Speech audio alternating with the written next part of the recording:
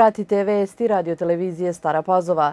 Predsjednik Aleksandar Vučić u razgovoru za RTS na kraju posete Njujorku rekao je da nije lako vreme pred nama, da ćemo morati da radimo više i da popravljamo situaciju u rudarstvu i energetici.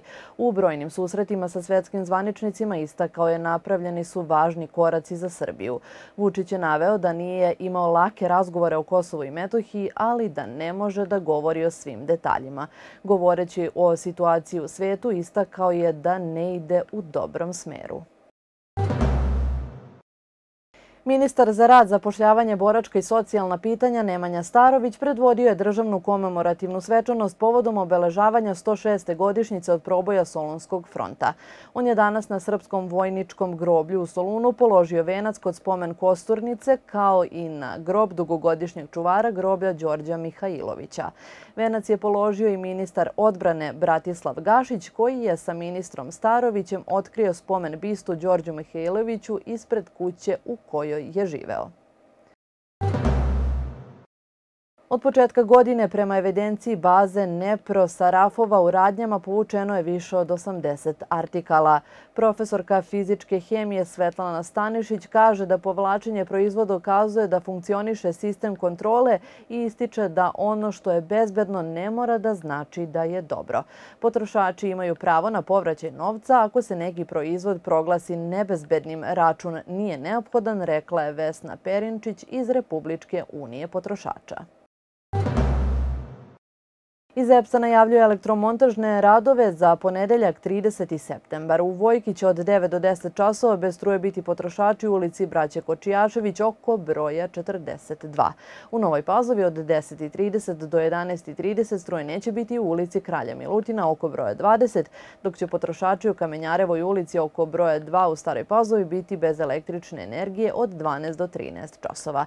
U Novim Banovcima od 13.30 do 14.30 struje neće će biti u ulici Branka Ćopića oko broja 10.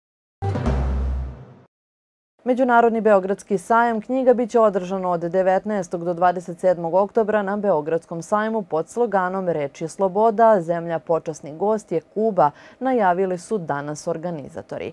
Predsjednik odbora sajma knjiga, akademik Dušan Kovačević, rekao je na konferenciji za novinare u Skupštini grada da je sajam jedna od najznačajnijih kulturnih manifestacija u zemlji.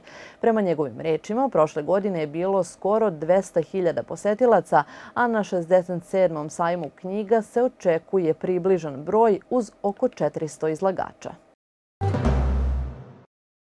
Usled najavljenih loših vremenskih uslova za tekući vikend, organizatori Fijekerijade, koje je trebalo da se održi sutra u Surduku, odlučili su da istu odlože za narednu subotu, dakle 5. oktobar.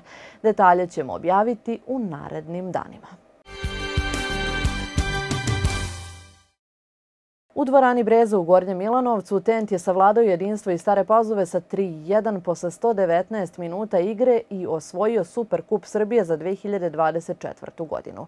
Utakmica je bila zanimljivija nego što to rezultat na kraju pokazuje. Favorizovana ekipa Tenta je povela u prvom setu, međutim mlade odbojkašice jedinstva se bude, preokreću rezultat, imaju i dve set lopte, ali Tent okreće rezultat na 26-24. I u drugom setu tu je egal sve do finiša kada se Obrenovčanke odlepljuju na 25-21. U trećem setu Četa i Ove Cakovića se ne predaje i zahvaljujući poenima Anđele Kukilo i blokovima Anje Zubić pobeđuju sa 21-25. U četvrtom setu Tent je već nadmoćan. Caković burno reaguje posle jednog čelenđa na 11-5, zbog čega je dobio i žuti karton. Ali to nije razbudilo njegov tim koji u ovom periodu nema odgovor na igru igru rivala. Na kraju ubedljivih 25-10, konačnih 3-1 i trofej Superkupa. Utisak je da je mlada postava jedinstva pružila dostojan otpor favoritu i da će u predstojećoj sezoni pružati sve bolju i bolju igru.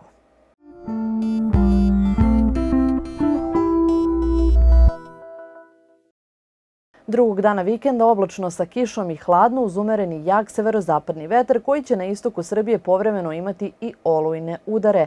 Dnevna temperatura biće u padu za 10 do 15 stepeni u odnosu na danas i u većini mesta biće u intervalu od 13 do 15 stepeni, a na istoku ponegde i do 18 stepeni. Bile su ovo vesti. Hvala vam na pažnji i prijatno provedite vikend.